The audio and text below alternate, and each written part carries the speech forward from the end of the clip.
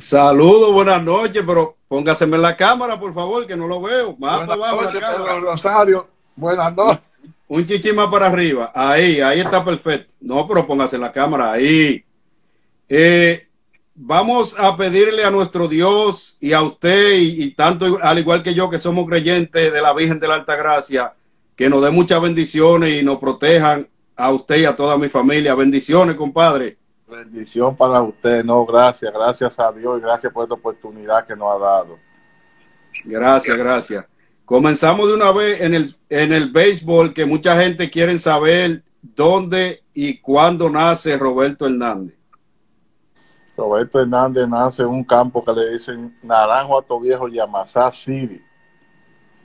Bueno, eso está muy bien. Póngase bien en la cámara, no se asuste que usted está hablando conmigo, no se preocupe. Eh. usted está- está loco. Eh, ¿Cuándo le nace su inquietud por el béisbol? ¿Cómo usted se da cuenta que tenía talento? Usted sabe que uno siempre empieza jugando en los campos, desafíos, cosas así, así, porque allá no había play de profesional, nada. Y empecé a jugar y gracias a Dios, Dios me dio el talento de poder salir a la capital y poder firmar. ¿Quién y cuándo lo filman? Me firmaron en el 2002 Josué Herrera y Chilote Llena. ¿De cuánto fue el bono, si se puede decir? No, eso no se dice, un picapollo. No te, no, eh, hay que decirlo para que la juventud de ahora se dé cuenta que no era fácil. No, pero le estoy, le estoy hablando con la verdad, un picapollo. Compadre, la cámara un poquito más para abajo, por favor. Ahí es que está perfecta, no la mueva de ahí. Bueno, eh, ¿qué organización lo firma?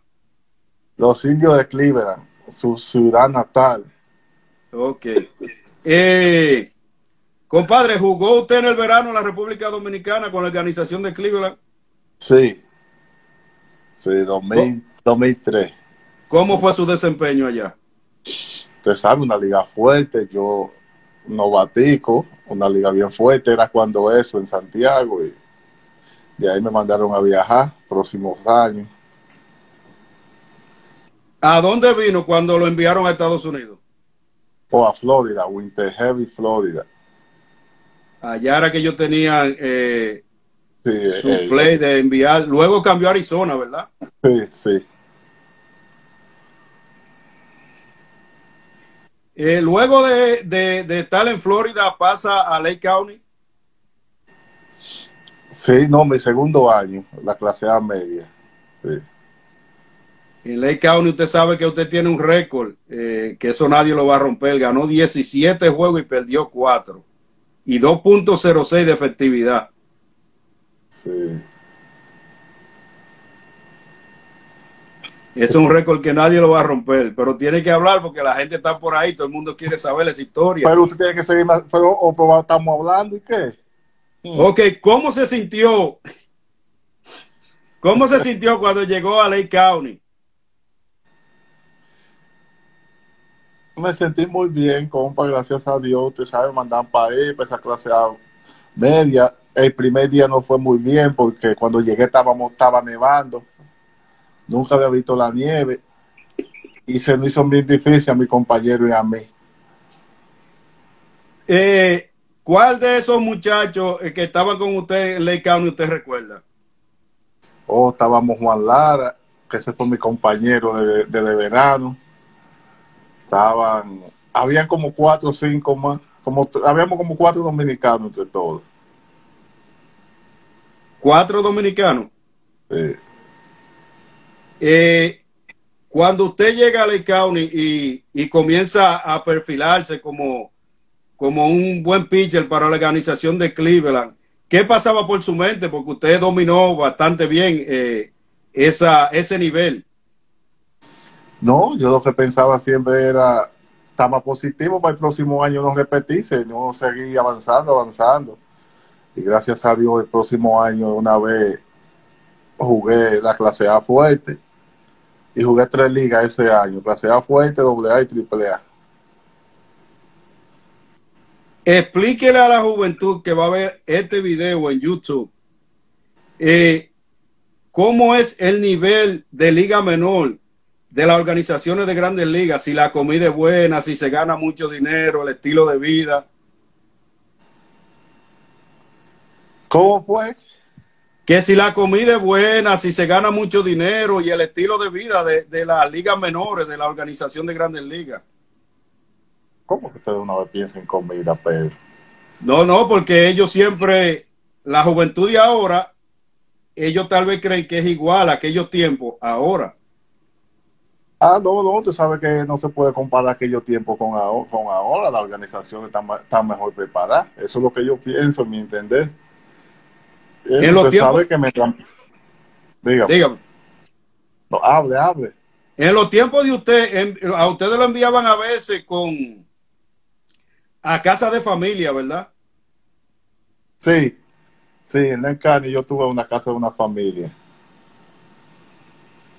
¿Cómo fue, cómo fue ese, ese, esa adaptación de usted a ir, venir de República Dominicana, dejar su familia y compartir con una familia a la cual usted no conocía más el idioma? Muy difícil, muy difícil. Hablándole por señas y la suerte a Dios que como estábamos ahí otro dominicano y yo y había un venezolano que no vivía tan lejos, que sabía un poquito de inglés, ese no traducía, pero fue muy difícil. Bueno, ya luego de la clase A, usted eh, lo envían a la clase A fuerte. ¿Cómo fue ese proceso, compadre? El proceso fue el próximo año, fui a la clase A fuerte, a, medio, a media mitad me subieron para doble A ese mismo año y, y después ya faltando po- eh, como un mes me subieron a triple A también. Eh, eh, la doble A en ese tiempo estaba aquí en Acro, Sí, en Atlas, pero entonces la triple A estaba en Búfalo. en Búfalo, sí. Ok. Eh, ¿Cómo fue ese proceso ya de subir tan rápido? ¿Qué, ¿Cómo se sentía usted? No, porque imagínate cuando yo llegué estaba medio joven todavía, era triple A y usted sabe que era una liga, una liga bien fuerte. Pero ahí yo cuando subí fue como por un mes porque ellos iban, iban clasificados para los playoffs. Es, es diferente. eh, ya usted gana 17 juegos en clase A, eh, pasa a doble A. ¿Se recuerda cómo le fue en doble A? En doble A no me fue muy bien, ¿no?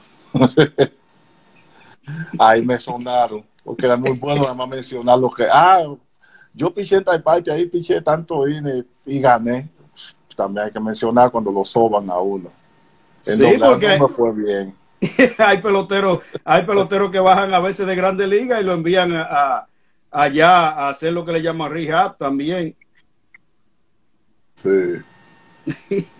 En triple A, ¿cómo, ¿cómo recuerda? ¿Cómo le fue a usted? En triple A a mí me fue bien porque nosotros quedamos campeón y yo uno de esos juegos yo lo piché, que lo tiré casi entero. Y pa-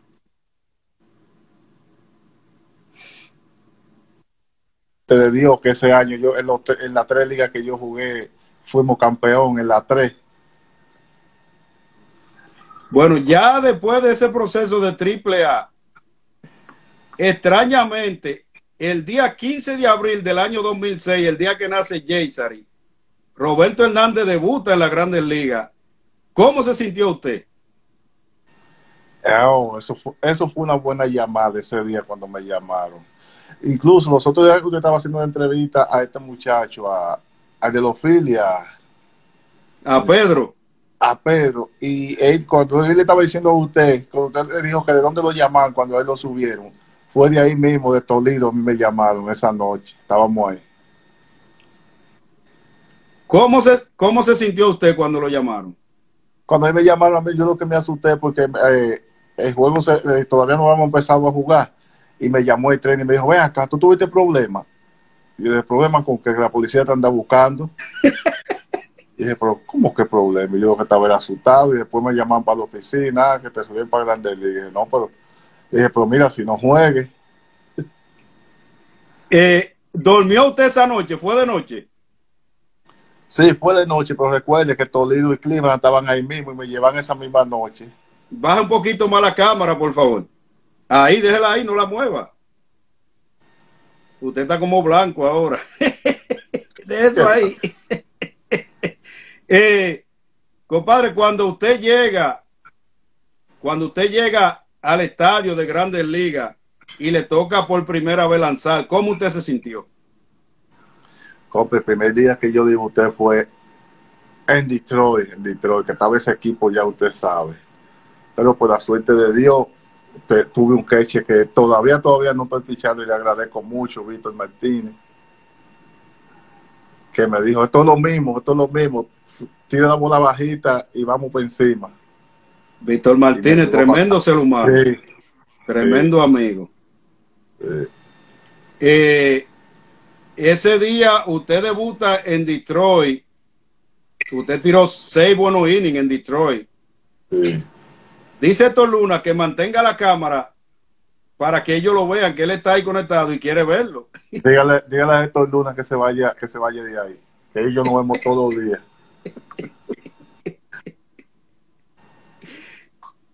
¿Cómo se sintió usted ese día eh, a, al irle también ya eh, frente a un equipo que en ese tiempo estaba, estaba duro, los Tigres de Detroit, Sí. cuando usted tuvo que enfrentar esa batería tan fuerte? No, porque usted sabe que como yo venía así, yo no daba mente que que fulano de que pereceo y como vuelvo le repito, me llevaba lo que Víctor me decía y vamos a hacer así, vamos a hacer de esta manera. Eh, luego de, ese tiempo, eh, Cleveland lo envía a usted al bullpen. Ya es una transición que para un pitcher abridor eh, es un poquito es un poquito incómodo. ¿Cómo se sintió usted ahí con esa transición de abridor al, al bullpen? Oh, sí, sí, eso fue algo medio, medio diferente, pero eso fue algo para que usara más la cabeza, porque imagínense, fue después que me enviaron al bullpen, no me fue tan bien tampoco. No le fue bien, pero eso, eso le pasa, eso le pasa a todo el mundo. Eso es, eso es normal ya a nivel de grandes sí, ligas. sí, Eh, sí. pero luego eh, de, de esa transición que no le fue tan bien, ellos lo, lo enviaron allá a AAA nuevamente, eh, a Búfalo. Y en Búfalo eh, usted se adaptó y, y, y su carrera volvió a tomar un giro. ¿Cómo usted se sintió cuando lo envían de Grande Liga a Búfalo? No, porque esa vez, esa vez yo no, no me llegaron a enviar. Ellos lo que hicieron fue, ahí mismo la temporada pasó y todo era que yo empecé en AAA el año siguiente. Eso fue lo que ellos anunciaron. Sí. Luego eh, ellos anuncian que lo envían para, para Búfalo, pero nuevamente usted regresa a la organización de Cleveland. ¿Qué recuerda usted de ese año 2007?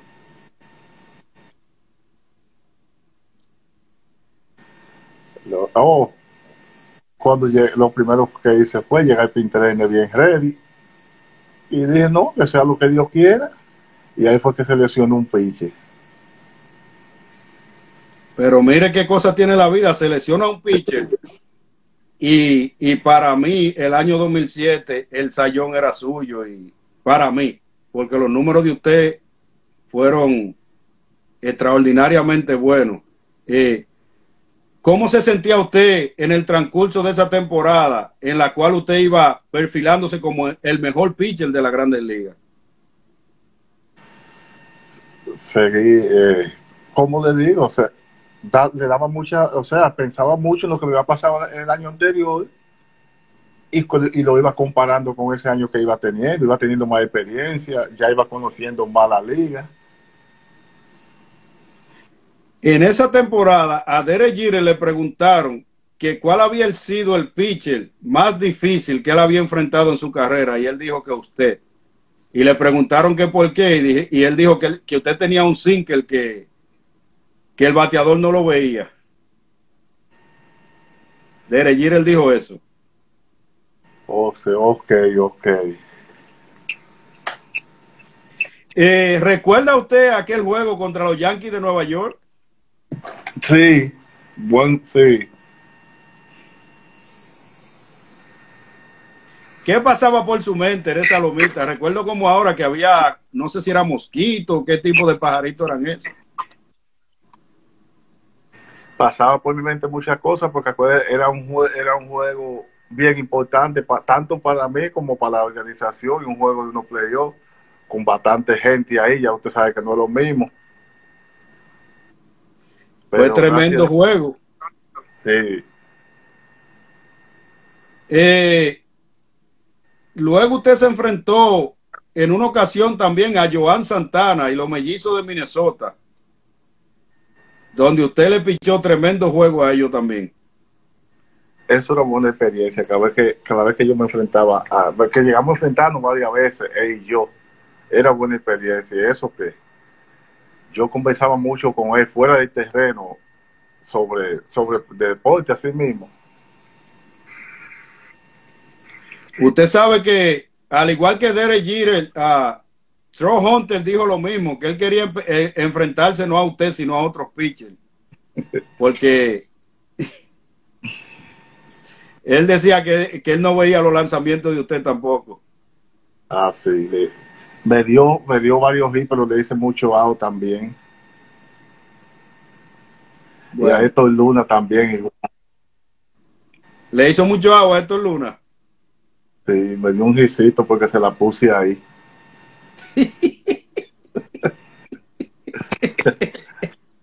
Héctor Luna y Yori Peralta. No, Peralta no, porque era del mismo equipo. No, pero hoy después en Detroit. Ah, sí, sí, sí, sí, verdad, sí. Sí. Y eh, eh, luego, eh, en mayo 17, usted tiró su primer juego completo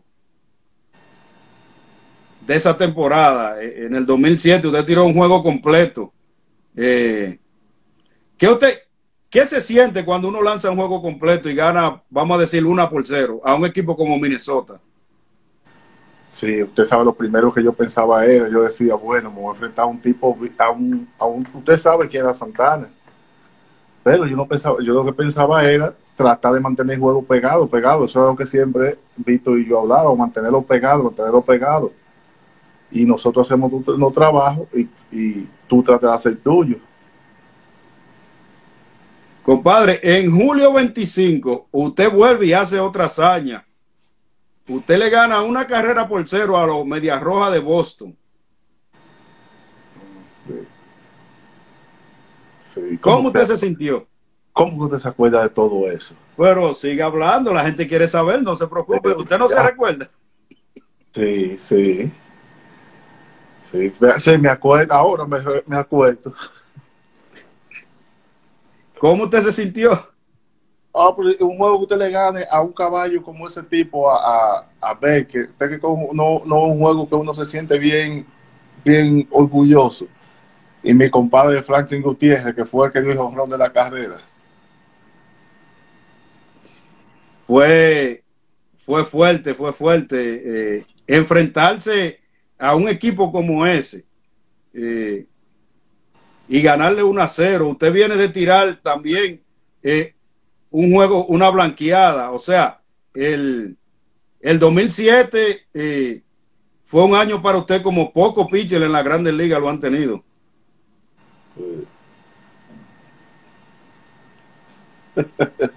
Coño, pues el lunes se habla disparate. dígame, dígame, dígame, dígame. ¿Cuál fue, cuál, ¿Cuál fue el momento más emocionante en su carrera en la Grandes Ligas?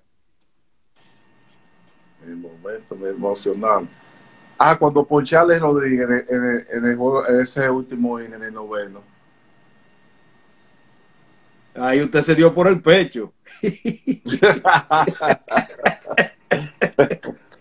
Ahí dijo, aquí están los hombres. Bueno, pero vamos ya a soltar. Eh, la parte final ya. No, todavía ah, esa ah, parte no. Eh, ¿Qué recuerda Roberto Hernández del año 2010. eso es buen recuerdo. El año 2010, de un año pésimo que tuve 2009 y gracias a Dios 2010 pude volver a sacar cabeza y lo más emocionante para mí fue cuando me enviaron el juego de estrella. Ah, usted ve que usted se recuerda. Ah, eso sí. Ah.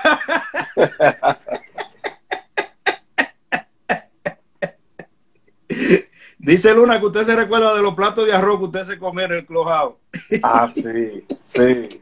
Ahí sí, del arroz que no pesa. Eh, como, usted bien como usted bien decía, un año pésimo, un año pésimo, eh, donde usted se sintió mal, obviamente, y, y regresa al año siguiente, eh, le va bastante bien y hace el juego de estrella. Cuando usted llega a ese play donde se va a celebrar ese juego de estrella, ¿cómo usted se sintió? Me sentí, me sentí muy bien, toda la, toda la cosa organizado, el, el murmullo de, de, muchas personas. Ya usted sabe la garabía, un juego de estrella, un juego de estrella. Nunca había ido, nada más lo había visto por televisión. Me sentí muy feliz. Cuando llegué la primera vez, la primera noche. La primera noche, exacto, junto a todas esas estrellas. Bueno, ya dejando los indios de Cleveland, eh, usted pasa a la organización de Tampa Bay. ¿Cómo lo trataron en esa organización y cómo usted se sintió? Ya con todos esos años ya que conocía todo el camino en clima, a veces pensaba, ¿cómo va a ser en otro? Pero gracias a Dios ahí cuando llegué, un trato especial. No me puedo quejar de esa organización. ¿Cómo es jugar para Joe Maddon, ese, ese manager que sabe tanto de béisbol? Es bien jugar, está bien jugar con él. ¿Qué le hacía él a ustedes eh, a veces antes de los juegos, a veces después de los juegos en el clubhouse? Hacía fiesta. Siempre había, siempre había una loquera diferente. Siempre tenía algo. Sí. ¿A cuáles, a cuáles peloteros recuerda de, de, de Tampa Bay que jugaron con usted?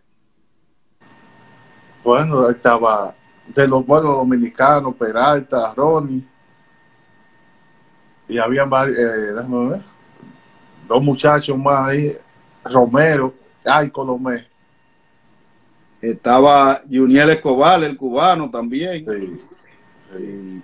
Ahí tenía a David Price, Chris Archer, Evan Longoria, era un equipo, era un equipazo. Sí, pues si uno se pone a mencionar todos esos que estaban ahí, no vamos a amanecer. dígame, dígame, dígame, ya estamos terminando. Luego, al año siguiente, usted firma eh, eh. Sí, con eh. Filadelfia. Usted se ríe porque comía mucha carne. ¿Cómo fue ese trato y cómo se adaptó usted eh, jugando toda su carrera en la Liga Americana y pasa a la Liga Nacional? Siempre me gusta, me, siempre pensaba que Dios me dé la oportunidad de jugar en la Nacional, porque usted sabe que soy un buen bateador. Y cuando llegué a los Phillies, que, empezaba, que empezaba la práctica de bateo del pin trainer, me sentía feliz. O sea que soy un bateador de poder. ¿Pero por qué? ¿Porque usted quería batear? Claro. ¿Hoy por qué más? Ay, Dios mío. Usted es un bateador de poder. Sí. eh, usted tuvo un año de ensueño con los Phillies. Recuerdo que usted le ganó un juego, una carrera por cero, a nada más y nada menos que los nacionales de Washington. ¿Usted puede describirme ese momento? ¿Se recuerda? Eh, oh, sí, sí, sí, sí. Usted dice, ah, a los, sí, sí, un, un, un juego, no, dos, el juego pasó 2 a 1, fue. 2 a 1 luego, sí. Sí. Pero eh, luego usted le pichó otro juego bueno a los nacionales. Sí.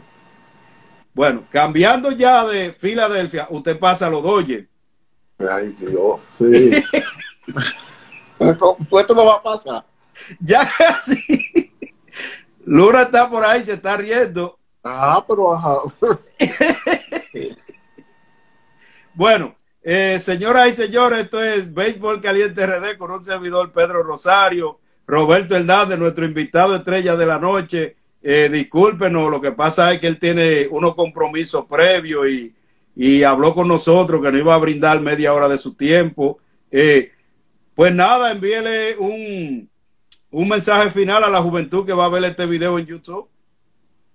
A la juventud eh, que están jugando pelota, que van a ver video, que no se desanimen, que sigan fajados y que cada día pongan todo en manos de Dios. De que se agarre a Dios no se cae. Y a su pueblo, la República Dominicana, por el coronavirus, ¿qué usted tiene que decirle? Que nos cuidemos, que nos sigamos cuidando cada día más, aquí donde, y donde en el, en el mundo entero, porque la cosa no está bien. Bueno, pues nada, señoras y señores, eh, vamos a tener que despedirnos porque nuestro invitado de la noche tiene, tiene sus compromisos. Gracias, compadre, por su tiempo. Gracias a las personas que están conectadas. Que Dios le bendiga. Esto fue Béisbol Caliente RD, un servidor Pedro Rosario, Roberto Hernández, el invitado de la noche. Ok, compa, muchas gracias. Dios me lo bendiga y Dios me le siga dando vida y salud para seguir haciendo eso que usted está haciendo. Voy a, ahora voy a tener que hacer un vivo con Héctor Luna, que está diciendo que usted se mandó muy temprano y que él quería seguir viendo el vivo. Ah, ok, sí. Ah, pues está bien. No te apures. Nos despedimos, compadre. Bendiciones. Que Dios me lo bendiga. Yana, a usted, a todos los niños por allá. Okay, gra gracias. Bye bye.